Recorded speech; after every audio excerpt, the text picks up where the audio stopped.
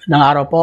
Ang topic po natin today is sea parlins or yung steel parlins. Doon sa mga nagpapagawa na hindi familiar sa construction terminologies, explain po natin uh, briefly kung ano po yan no, bago tayo mag-proceed. Nakalagay dito, ang title natin is Proper Orientation of Sea Parlins or How to Maximize Its Capacity. Importante po ito.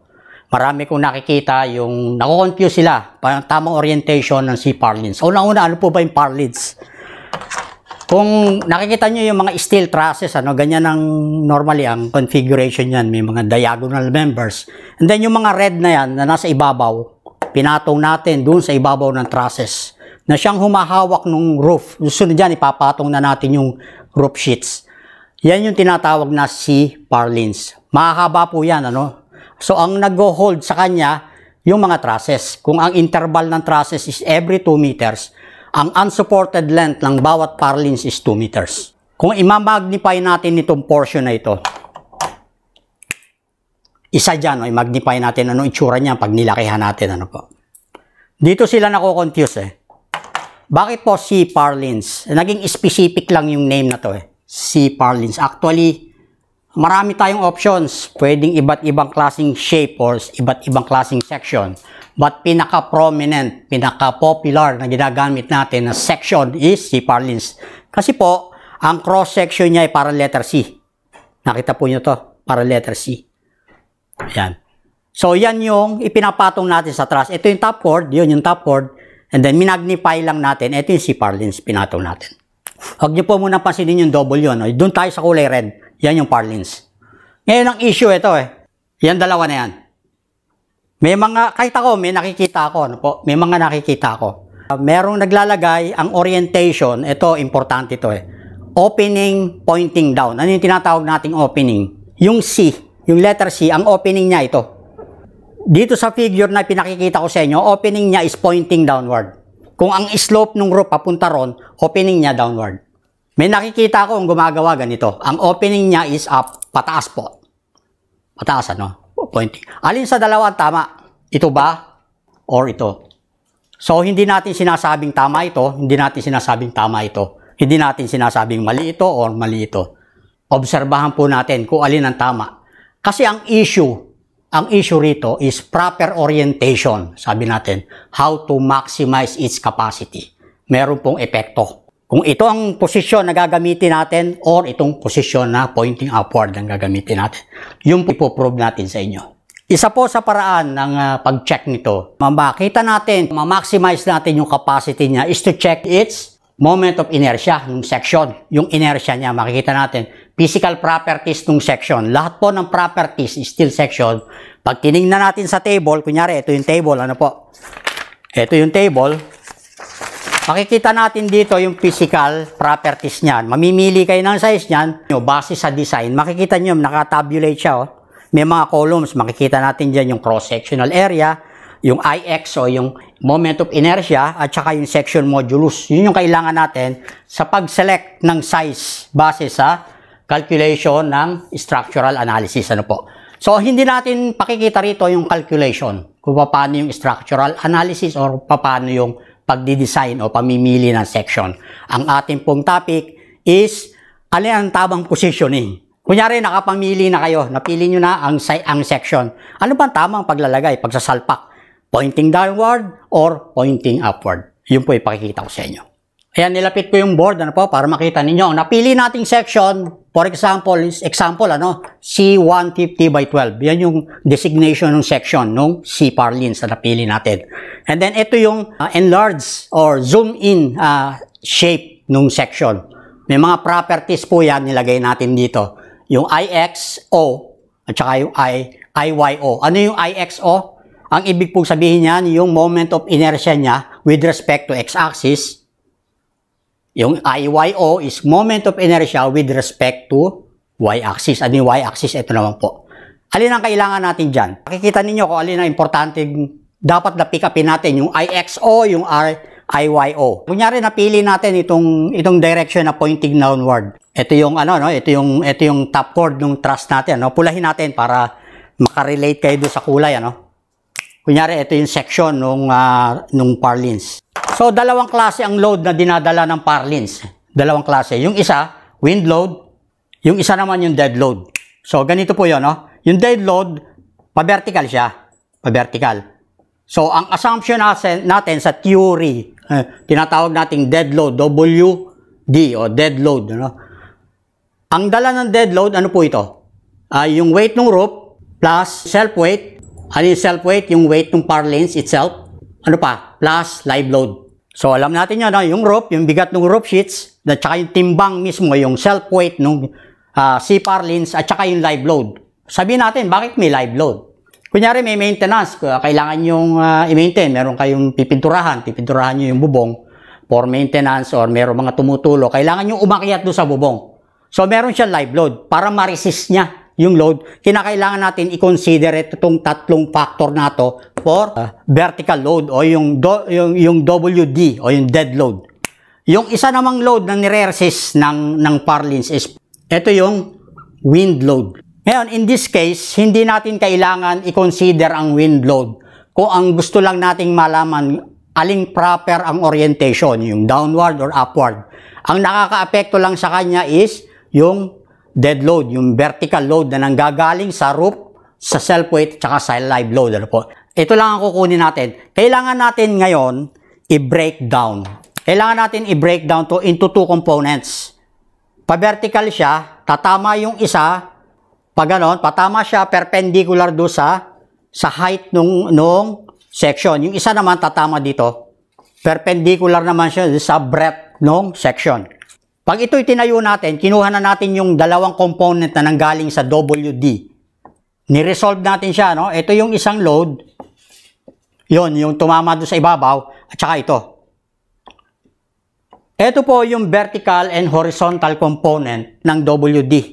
No? Nung, nung, nung dead load. Ano po? Kailangan natin may resolve. Uh, so, in this case, ang bibigay nating example, itong, itong direction. Nanggagaling ang load dito dahil orientation natin is pointing downward. So, ang direction ng load is horizontal papunta doon on that direction. Yung isa naman papunta sa baba. Hindi natin kailangan ngayon ito. Ang kailangan nating ma-determine itong point na to, itong direction ng force na to. Ber itong horizontal component na tumatama dito sa side ng C parlins. So, ano ang kailangan natin dyan? Kung ito lang ang consideration natin, itong horizontal component na to, para makuha natin yung resistance niya, maximum resistance, kailangan nating i-transfer ito sa rightmost. Buburahin ko na ito, mag-proceed tayo dun sa calculation. Kasi ang interest natin is to get ano po ang mas malakas. Itong direction na pababa o yung pataas. So kinuha muna natin itong direction na pababa. Tignan natin yung inertia niya. Yung, yung, yung po kasi yung pag-check natin para malaman natin kung ano yung mas malakas ang moment of inertia. Mas malakas ang inertia nandoon po yung maximum capacity. So para makuha natin yan, kailangan natin i-transfer itong YO dito. Ito, tawagin natin Y1. Ito Y, Y1. Mamaya, i-compare natin siya dito sa isa. Ito naman yung Y2. So, pareho natin i-investigate. Pag ang gusto ninyong malaman yung direction ng force na, na papunta dito, ita-transfer natin itong neutral axis doon sa rightmost. Dahil nandoon yung support sa dulo. So, ang kinakailangan nating makita yung maximum inertia nito, itong section, based do sa tin-transfer natin ng neutral axis, dinala natin doon sa rightmost. Mamaya, i-check natin, i-compare naman natin, dito naman natin dadalhin sa kabila. So, paano ang pagkuha niyan? Kung given ang inertia na YO, yun yung neutral, ano po, kailangan natin i-transfer sa Y1. So, pakita natin yung calculation, ano po, transfer natin yung inertia dito sa rightmost. I, Y1, equivalent to YO, yung original inertia, plus area, multiply by D square. Itong calculation na ginagamit natin na to, itong formula na pinakita ko sa inyo, ito yung tinatawag na transfer moment of inertia. Ano po, dinatransfer natin yung inertia from the original axis to the new axis dahil kinukuha natin yung maximum resistance at this direction. So, yung direction na kung ito yung C-section, nandito po yung force. Ano po? Kasi downward tayo. Kaya yung horizontal component nang gagaling dito sa right, uh, sa left papunta sa right. So, transfer natin yung value ng IYO is equivalent to 0.27 times 10 to the 6 plus yung cross-sectional area which is 1540 1540 millimeter square multiplied by the distance ano po yung D square. Anong ano yung D na kailangan nating makuha? Mula dito sa original axis papunta ron sa rightmost ang distance niya is 35.20 paano nating nakuha yon yung base yung base ng cross section is 48 48 ito minus 12.8 yung x bar is equivalent to 35.2. Then, square natin. Then, yung answer niya, IY1, yung inertia niya at this axis, is equivalent to 2.17 times 10 to the 6. Dito pa lang makikita ninyo, 2.17 ang value niya. Kung i-compare nyo sa original uh, inertia niya based from YO, yung IYO is 0.27 nakita nyo yung kalakihan nung i-transfer natin siya rito kasi yung support natin nandito na tin-transfer natin. Compute na ba natin yung isa? Yung, yung sinasabi ko kanina, yung IY2. So, ang kailangan naman nating investigahan yung inertia niya dito sa, sa likod nitong axis na to. Dito po. Ita-transfer naman natin tong IYO dito naman sa left. IY2 equals IYO plus area D square. Okay? This time yung D, ang gagamit natin yung X bar na, yung 12.8. So, pag tinransfer natin yung value na yon 0.27, yung pa rin, yung original, ano, times 10 to the 6, plus 1,540, the same cross-section area, multiplied by yung X bar, 12.8 square. 0.522 times 10 to the 6 millimeter to the port. So guys, dito makikita nyo, no? Yung IY1, dito in this direction, ito yung binibigay niyang value ng I. But yung IY2, kung manggagaling naman dito ang direction dahil binaligtad natin, gusto natin pointing upward, ito yung binibigay niya I. Nakita niyo yung difference? 2.17 divided by 0.522. Ano po yan? Para makita ninyo kung gaano kalakas yung isang position, yung pointing downward is 4.15 or 4 times stronger. Ano yan ang sinasabi natin? Therefore, si Parlin pointing downward is 4 times stronger than pointing upward. Yun po yung conclusion natin.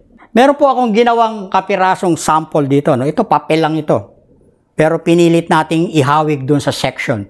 I-try po ninyo sa sarili ninyo. Tingnan nyo, ang, ang ginawa ko, ang cross-section niya parang letter C din. Ano? Gusto ko lang i-prove sa inyo itong computation, yung analysis natin, na yung um, direction pointing downward is stronger than pointing upward. So, i-try ninyong i-bend. Wala po siyang lakas, oh. Wala siyang lakas. Pero i-try ninyong i-bend pointing downward. Mararamdaman nyo lumalaban. Papi lang po yan, pero nakakita nyo, lumalaban siya. Ibig sabihin po nito, ipinuprove lang niya na yung direction na pointing downward is stronger than yung section is pointing upward. So, yung tanong natin kanina, yung tanong natin kanina, alin ba yung tama? Itong opening na pointing downward or opening na pointing upward? Sa computation at pati do sa sample na pinakita ko sa inyo, try nyo po yung itong pinakikita ko sa inyo, makikita nyo yung difference. Lumilitaw na mas mas proper pong gamitin natin itong direction na pointing downward instead that yung gagamitin natin. Marami po ako nakitang gumagawa niyan. Alam ko bakit nila ginagawa yun. To simplify the construction. Naiintindihan po natin yun. Naiintindihan natin. Dahil ang gusto nila, suportahan lagyan. Normally, naglalagay sila ng angle bar dito. Eh. Stiffener. Ipada, idinidikit nila yun, ipapatong nila. Then, spot weld nila rito, spot weld nila rito. So, kahit naman pointing downward, ganun din. Maglagay ka rin ng stiffener. Ito yung angle bar. Spot mo doon. Ito, naka-welding doon. Ano po, naka-spot dito. Ito, spot mo rin. Kagaya rin nung ginawa mo ron. So, ano kaibahan? Ano po ang difference niyan? Parehas din. Nakakapit pa din siya dito kasi i-welding din natin siya rito sa angle bar. Eh. Ito, naka-welding dito, naka-welding din doon, kaparehas din nun. Uh, parang lumilitaw na mas naging care pa kayo doon sa support, which is only gano'n ba kalapad yung top cord dito? 4 inches lang po yan. Samantalang yung unsupported nung parlins, yung sinasabi ko sa inyo kanina, kung ang distansya ng trusses is every 2 meters nag-worry ka doon sa portion na kung saan naka-welding siya sa top cord, which is only for 4 inches. Samantalang yung pinabayaan mo yung distansya ng dalawang trusses, yung unsupported lead. Palagay natin, tinignan natin dito, no? Ito yung cross-section ng truss.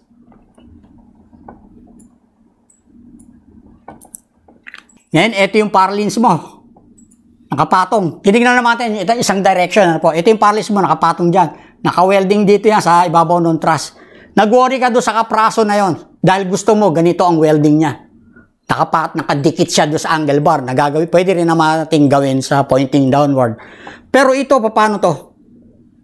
Itong unsupported length natin, paano kung 2 meters ang layo niyan? Yun ang sinasabi po natin.